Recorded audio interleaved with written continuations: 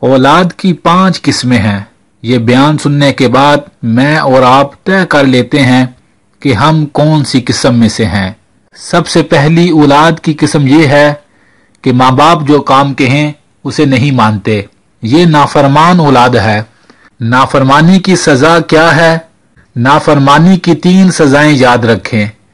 سب سے پہلی سزا، ساری زندگی سجدے میں سر رکھ کر عبادت کرتے رہیں۔ نہ ان کے فرض قبول ہیں نہ ان کے نفل قبول ہیں۔ یہ حدیث ہے۔ نافرمانی کی دوسری سزا اللہ کی نظر رحمت سے محروم ہے۔ اللہ انہیں قیامت کے دن پاک نہ کرے گا۔ نافرمانی کی تیسری سزا تین ایسے بدقسمت لوگ ہیں جن پر جنت حرام ہے۔ اگر توبہ کیے بغیر مر گئے، ان میں سے ایک وہ جو ماں باپ کا نافرمان ہو۔ اولاد کی دوسری قسم کون سی ہے میرے بھائی اور بہنوں ماں باپ جو بات کہیں، اسے مانتے تو ہیں، مگر دل کی خوشی سے نہیں، مجبوری سے مانتے ہیں۔ کہیں ماں باپ مارے نہ، کہیں مجھے گھر سے نہ نکال دیں۔ ان لوگوں کے بارے میں آتا ہے کہ ڈر ہے کہ کہیں یہ ثواب سے محروم نہ رہیں۔ اولاد کی تیسری قسم کون سی ہے؟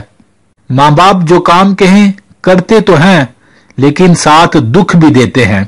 بات بات پر احسان جتلاتے ہیں۔ میں نے فلاں موقع پر آپ کی بات نہیں مانی تھی۔ میں نے فلاں موقع پر آپ کو پیسے نہیں دیے تھے۔ میں نے فلاں موقع پر آپ کا کہا نہیں ماننا تھا۔ بات بات پر ماں باپ کو کام سناتے ہیں، احسان جتلاتے ہیں۔ یہ لوگ بات ماننے کے باوجود بھی میرے بھائی اور بہنوں، نیکی نہیں گناہ لیتے ہیں۔ کیونکہ یہ ماں باپ کو احسان جتلاتے ہیں۔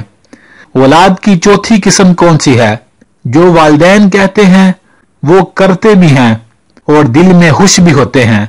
اور دل میں کہتے ہیں الحمد اللہ تیرا شکر ہے کہ میں نے اپنے ماں باپ کا کہا ماننا اور میں نے ان کا ایک حق کام کر کے تو ادا کیا اور خوش ہوتے ہیں ماں باپ کی خدمت کر کے۔ یہ ہے وہ خوش نصیب اولاد جنہیں اللہ ڈیرو اجر و ثواب سے نوازے گا۔ سبحان اللہ۔ اور اولاد کی پانچویں اور آخری قسم کون سی ہے؟ والدین ابھی کہتے بھی نہیں کوئی بات۔ ابھی والدین کی جو خواہش ہوتی ہے، انہیں معلوم ہے کہ میرے باپ کو کیا پسند ہے۔ انہیں معلوم ہوتا ہے کہ میری ماں کو کیا پسند ہے۔ یہ ماں باپ کے کہنے سے پہلے ہی وہی کام کرتے ہیں جو ان کے ماں باپ کو پسند ہوتا ہے اور جس کام سے ان کے ماں باپ خوش ہوتے ہیں۔